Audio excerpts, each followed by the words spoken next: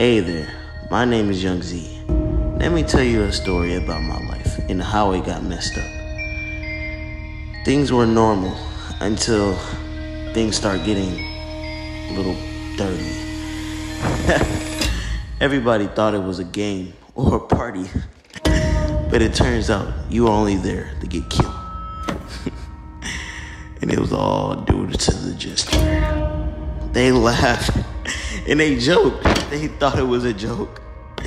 But it wasn't no joke. You were there to get killed. Well, it's too bad. You're dead now. oh, I feel trapped. So, I'm just gonna let the jester tell it.